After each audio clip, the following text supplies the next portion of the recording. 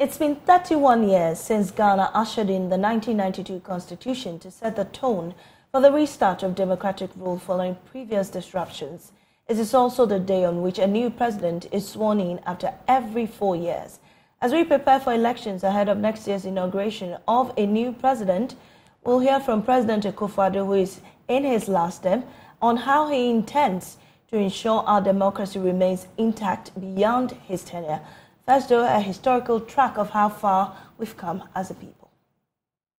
Constitution Day is one of the three public holidays established by the Public Holiday Act 2001, Act 601, signed into law by President Akufo-Addo in 2018. Celebrated on January 7th, it commemorates the adoption of the Constitution of the Fourth Republic of Ghana in 1993. The holiday declared and the Section 2 of the Public Holiday Act emphasizes the importance of democracy, liberty, democratic governance, rule of law, accountability, and constitutionalism. Before the Fourth Republic's constitution, Ghana experienced three interrupted political administrations marked by military coups, including the overthrow of the first Prime Minister and President, Dr. Kwame Nkrumah, in 1966. Subsequent leaders, such as Dr. Kofi Abrefa and Dr. Hilla Limann, faced truncated tenures due to coups. These coups were prompted by accusations of corruption, dictatorship, and unpopular governance. The establishment of the Fourth Republican Constitution reflects Ghana's commitment to avoiding a return to past political instability with five successful elected democratic governments alternating between two political parties. Strict adherence to democratic principles has become a hallmark of the Fourth Republic. Article 3.4 of the 1992 Constitution further mandates every Ghanaian citizen to defend the Constitution, rejecting any threat to democracy and standing against oppression and instability. We'll hear from President Akufo-Addo shortly. Right now, though, let's hear from you, the citizen. My colleague, Kenneth Jesse, interacted with some of you. The 1992 Constitution is the country's longest uninterrupted written constitution since independence. 32 years after that constitution was drafted. How well has it served the country? We're on the streets of Accra to find out from Ghanaians what they think about the 1992 constitution. Right now, dear, the constitution is many, but we are not seeing any changes. There is no job for the youth. I mean, it's a whole lot. It seems like those in the parliament or those in the government, they are enjoying. And we that we are sitting back, we are suffering. Maybe uh, can, you can imagine one minister having six cars and even the six cars too government is fueling them. Even their house they are not paying um, electricity bill. It will all go and come then it will come and bill as we will pay everything. I mean we are suffering. So i think the government should cast should cut most of the costs. I mean the traveling and the aspects. Some people can go on vacation. If and if they are going to it's on first class plane. It's not economy or anything. So the government should cut the cost so that we to we the youth in Ghana here we can also have a lot of jobs. We need jobs. We need jobs. It really needs to be amended because um, the system is different now, and I think now nobody kind of checks anybody. So these are our leaders, the president, um, MPs or other political uh, uh, gurus nobody checks them. They do whatever they want. Even like there's no system. Even our um, rent and stuff nobody checks anybody. Anybody can just build and give it any price at all they want. And they know definitely somebody else will come for it if you don't go for it. Yeah you tell me a single room is um, thousand cedis per month. I mean what are we doing? What kind of work uh, is available in ghana? How does it pay? And you know right now we are here, we say we are suffering. The president is okay. Everybody, like these political uh, uh, guys, they are okay. They are doing just fine, and nobody is checking them. Nobody is even asking how did this go, unless it's time for accountability. Uh, Ghana constitution ni ministers ni MP bebrebe a yɛfa no yɛhunu mfasoɔ a so wɔ ghana ha mp kɔ retire wɔgye ɔman no ɔgye fie ɔgye car mfasoɔ ni so ma no ma up to now. There are too many MPs for a small country like Ghana. Ghana is almost 70 years, but we are still suffering.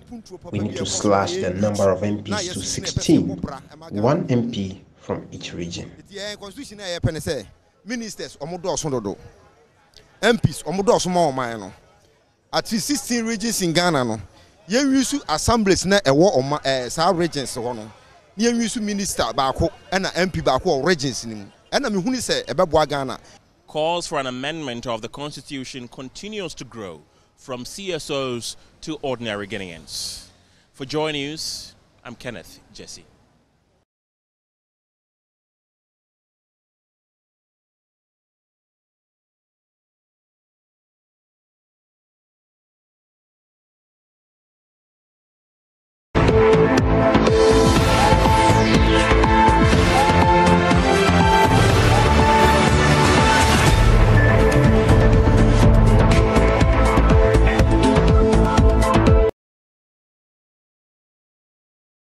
We can now hear President Akufo-Addo's Constitutional Day message.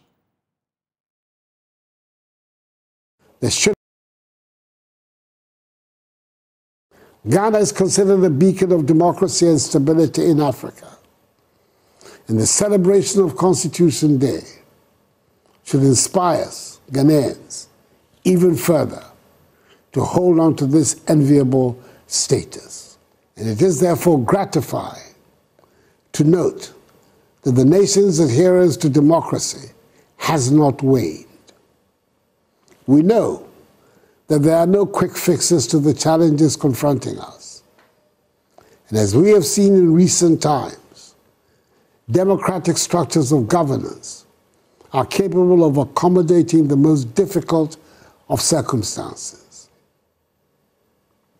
Fellow Ghanaians, Democracies are grounded on viable elections.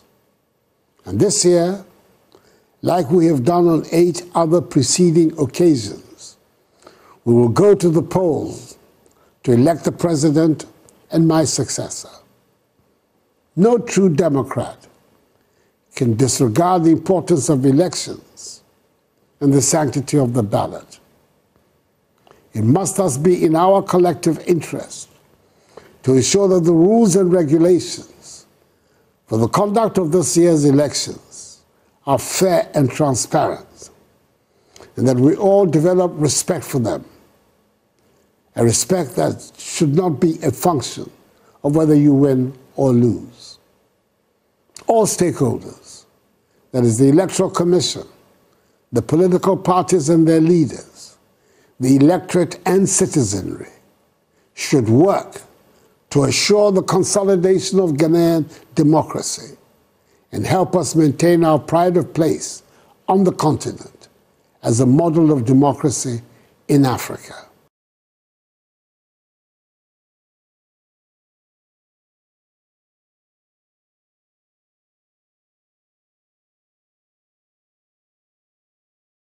Well, President Akufo-Addo says that three years after the 2020 election, he's still waiting a congratulatory message from his main opponent, John Dramani Mahama, on his hard-fought victory.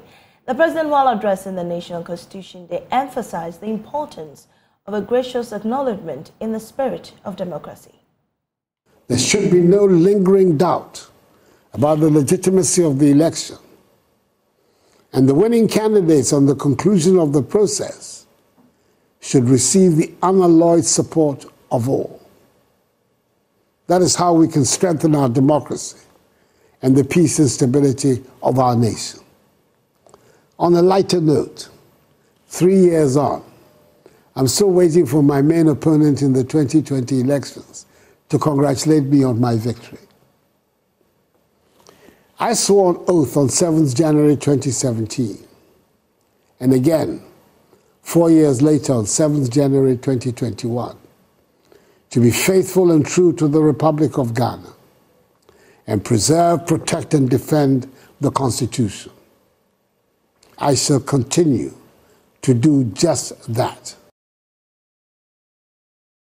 John Mahama's camp is not enthused about congratulating the president. Spokesperson Felix Kwakye Ofosu believes he doesn't deserve it, and this is why he says so. Would he, in this day and age, at this twilight of his tenure as president, be demanding congratulations for elections that were held several years ago? And in any event, why would President akufo expect to be congratulated when he clearly procured that victory through bloody means? As I speak to you, eight Ghanaians who merely stepped out to observe these elections were gunned down in cold blood by rogue elements enlisted into the Ghana Armed Forces by President Akufo-Addo and his government. So now, not a whimper has been heard from him in terms of what is being done to seek justice for those who lost their lives. It would have been useful for him to have seized the opportunity of this address to update Ghanaians on what he was doing. If you shed blood to win elections. Why should anybody congratulate you? Congratulations are reserved for those who play fairly, who play by the book, and win fairly. President akufo does not fall into that category. So Ghanaians are not interested in this pursuit of of uh, vanity by President akufo He should focus on the important things that affect the lives of everybody in this country. Hundreds of youth chanted patriotic songs as military and policemen prevented them from accessing the Independence Square for a convention program. The convention, which is put together by the New Africa Foundation, brought together thought leaders in Africa, including Professor PLO Lumumba, Peter Obi, Julius Malema, and others to speak on key challenges confronting Africa's development. The program, which was scheduled to start at 5 p.m. today, is currently on hold because some armed military men and police are currently manning the entrance to the Independence Square, preventing entry to members of the public. It is unclear why the new turn of event, but we can listen to some of the patrons who thronged the place wanting entry.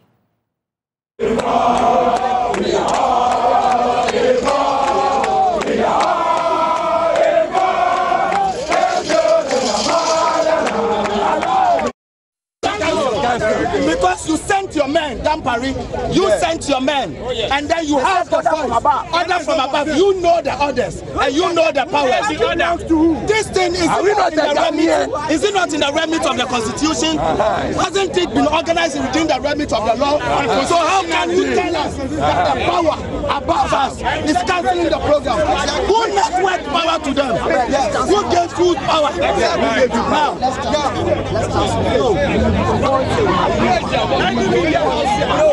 Before we go to Malema, he was talking about this thing. Article 1 of our constitution. What does it tell us? It says supremacy resides in the not in the hands of the public, not in the hands of government. This is a state apparatus, not a government apparatus.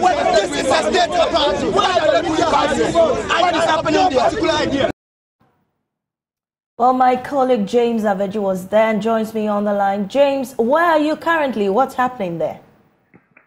Said Marvin, so uh, we've just left the Independence Square to uh, have a press conference with organizers of uh, the uh, conference. And so, uh, uh, leaving there, what, what we have seen on TV is currently the situation where armed military officers as well as police actually manning the entrance. I counted about 10 military officers and about 20 to 30 police officers who are behind the metal barricade. So when you get to the Independence Square, the entrance is currently blocked with metal barricades, preventing anyone to enter. When you look around, you would see the stage being set already uh, uh, to begin the program. When I interacted with one of the gentlemen who were in the convention T-shirt who told me uh, he worked with one of the organizers of the program. He told me that uh, as early as 3 p.m., uh, the officers came there to drive away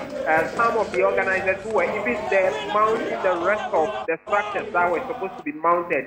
And so they came there to drive those who were already in the Independence Square before mounting the metal barricade. And so uh, as we speak, hundreds of patrons are actually on at the entrance of the Independence Square on the road all around the Black Square uh, wanting to enter uh, the place to uh, get the program started. But as we speak, there is uh, going to be, uh, we are told, a press conference to address uh, the issue by the organizers. And so that's what we are looking forward to, to bring in a short while, Mami.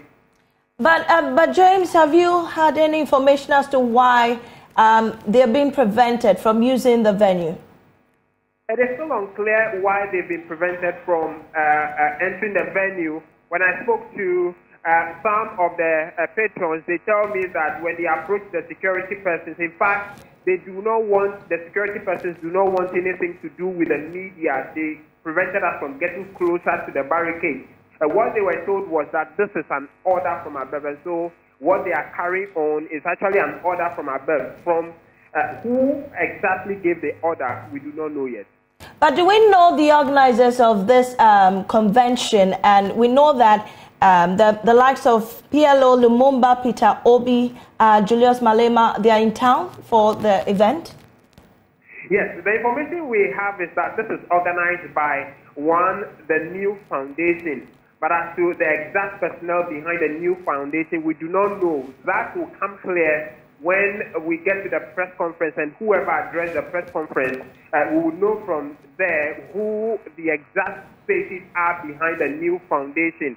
Uh, but we are also told by, uh, I mean, some of the organizers on the ground, the one I spoke to in the t-shirt that uh, these invited guests are already in town. Uh, uh, uh, Julius Malema from South Africa, PLO Lumumba from Kenya, Peter Obi from Nigeria, and the others.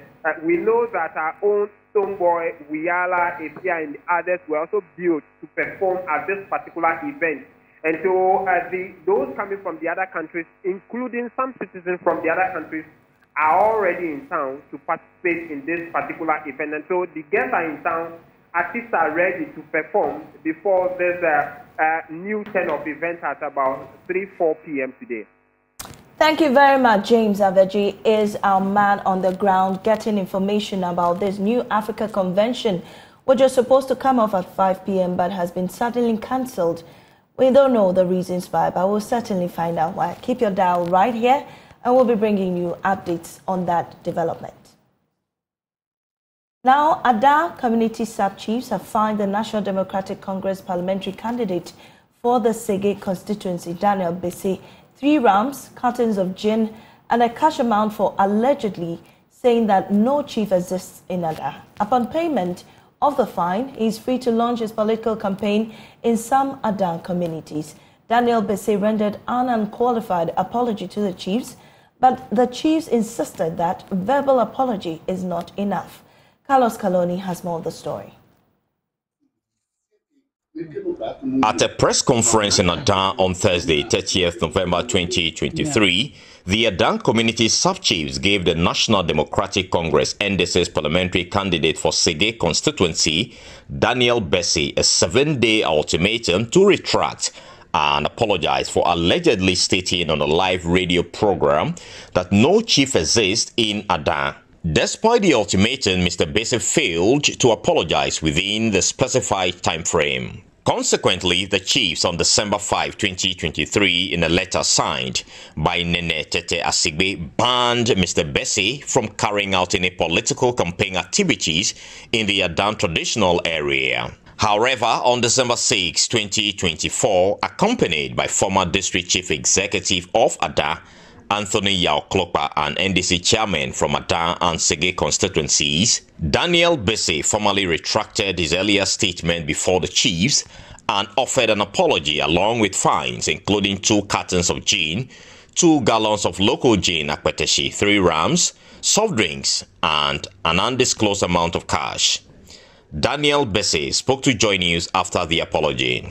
I made a statement which is an offense to the authorities of my land, against my chiefs, against my elders, and uh, and I and the paramountcy. And upon reflection and then other guided statements and guidances, I realized my offense. Uh, I came in consultation with the chiefs to plead to be forgiven. And to God be the glory, uh, I have been forgiven. uh, I must say that let this be a lesson to all of us, particularly those of us in the political class, those of us in leadership, those of us in business, those of us uh, who are subject to our leaders at all times. Let's practice decorum. The chiefs accepted his apology, lifting the ban.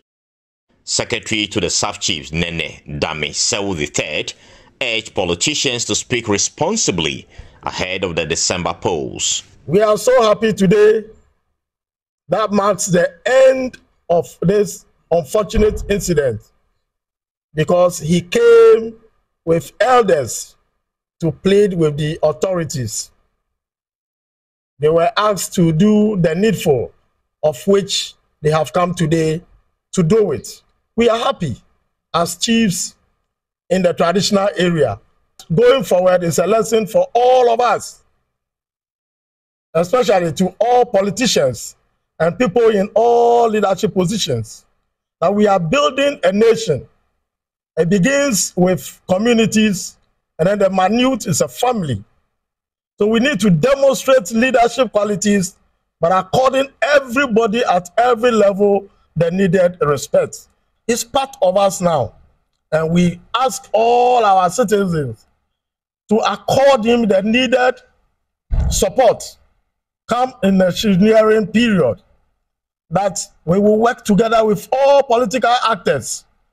We will work with all businessmen to ensure that our constituency also grows from strength to strength. The NDC's constituency chairman for Sege, Inokte Sewanu, also advised party members to learn from this unfortunate incident. I advise all our members to put respect above everything that we do as we campaign for the 2024 election. Adan's traditional authority emphasizes collaboration with all politicians for rapid development. Carlos Galoni, Joy News, Adan. You're still watching Joy News Prime. We'll be right back after this break.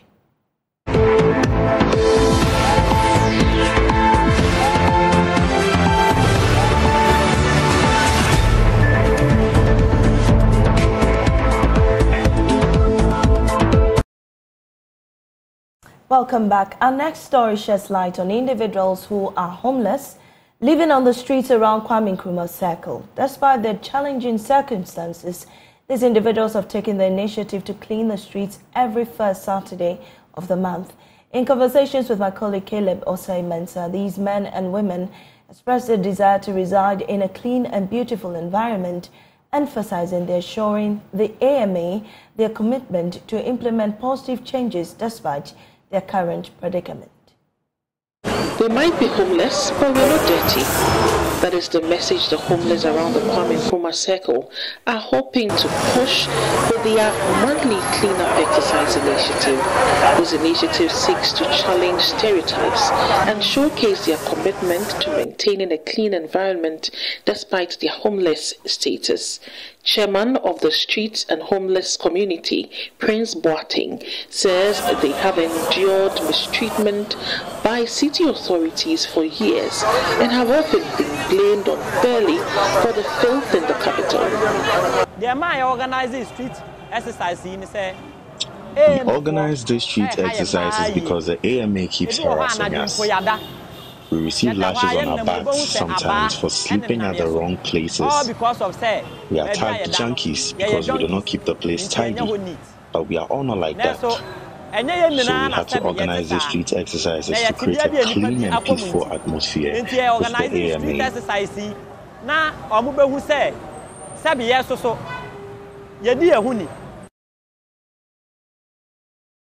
And that's all from us and the crew here at Joy News on Joy News Prime. There's more news on myjoyonline.com. I am Amisi Nyamiche Thompson.